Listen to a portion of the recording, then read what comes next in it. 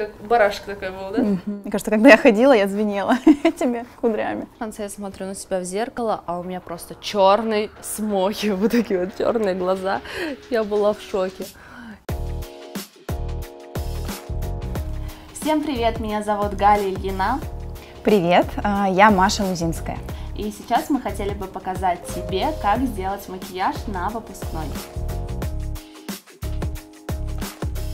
Ну что, начинаем с тонального крема, набираем на ручку, наносим на кожу. Я буду делать яркие глаза, а, но при этом сделаю более нюдовые, спокойные губы. Я пользуюсь тональным кремом, который для жирной кожи, Everlasting Sink. Я его вообще обожаю, но я все равно его закрепляю еще сверху пудрой, потому что все-таки в такой ответственный день да. кожа может проявлять жирный блеск.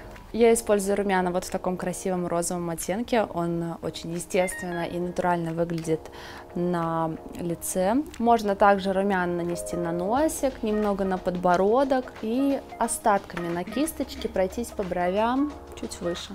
Так макияж будет выглядеть более гармонично. Сейчас я делаю светотеневую коррекцию. А, красиво корректирую скулы при помощи сухого скульптора. А над скульптором буду проставлять блики при помощи сухого хайлайтера.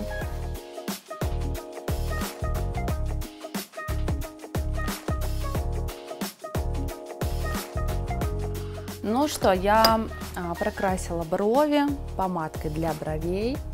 Помощью помадки можно дорисовать недостающие волоски, что очень удобно, и зафиксировать форму, сделать их более натуральными и естественными.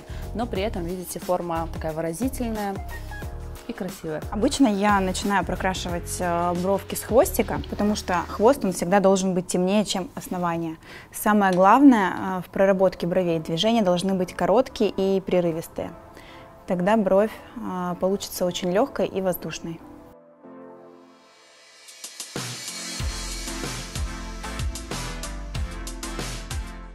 Для глаз я буду использовать тени карандаш.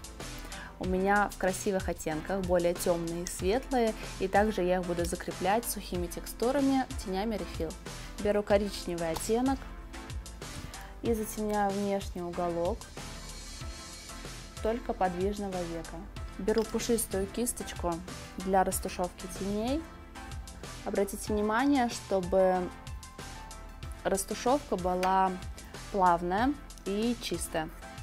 Также прохожусь по внешнему уголку нижнего века, немного дублирую на верхнее веко и также растушевываю. Я закончила с карандашком и дальше перехожу к сухим теням.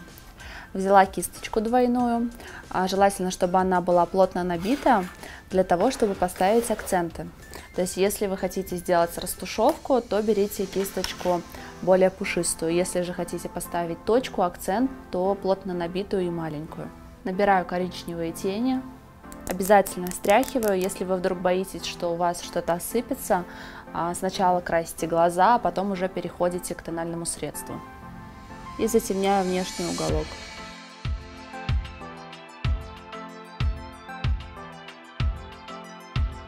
Я взяла карандашик посветлее и прохожусь по внутреннему уголку. Также прохожусь по подвижному веку, дохожу до середины глаза и растушевываю кисточкой границы.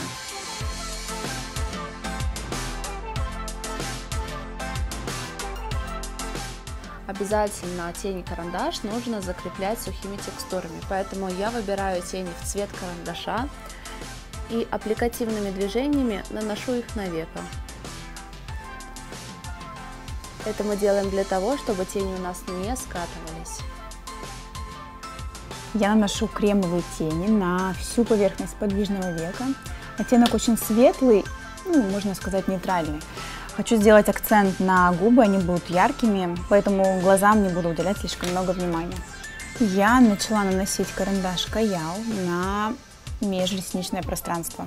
И посмотрите, какой выразительный сразу становится глаз. Но важный момент, нужно обязательно растушевать карандаш кистью и создать легкую дымку.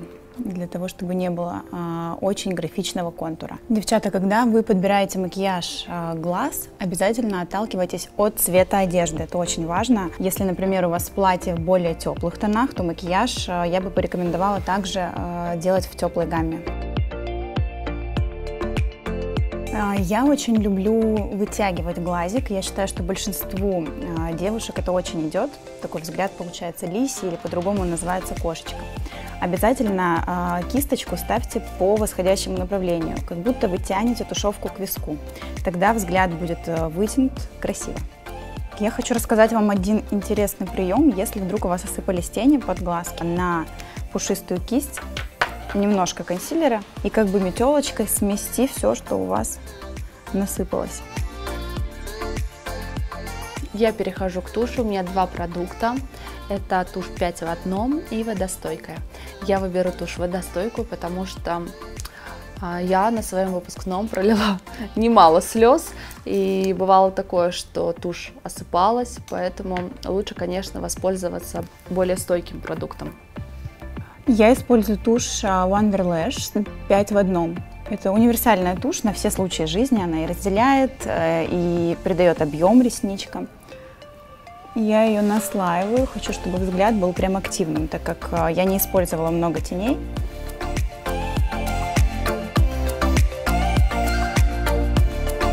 Делаем губы. Я буду делать их более натуральные, а, придам им немного пухлости, объема. А, делаю это с помощью карандашика.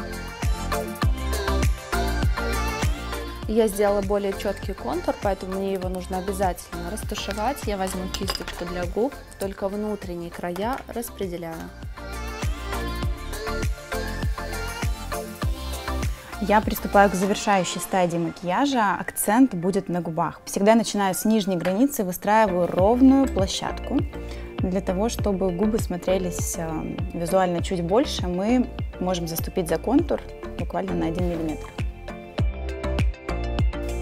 После того, как я сделала нижнюю площадку, я продвигаюсь на верхние. А уже дальше прорабатываю уголочки. Именно по такой схеме вам будет проще выстроить симметрию.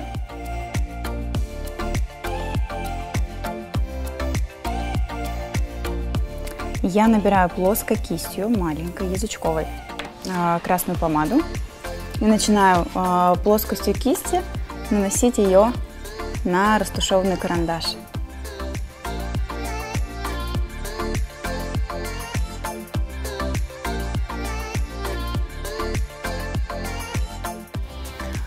Важный момент, если у вас открыто декольте, обязательно все продукты, хайлайтер, румяна и скульптор стушевывайте на зону декольте. Ну что, вот наши образы и закончены. Я сделала акцент на глаза, у меня получился очень нежный и спокойный образ. У меня получился выразительный макияж с акцентом на губы, и такой макияж я посоветовала бы делать к более нейтральным оттенкам одежды, к черному платью, к белому платью, либо к серому. Хороших вам выпускных, повеселитесь от души и будьте самыми красивыми. Пока-пока.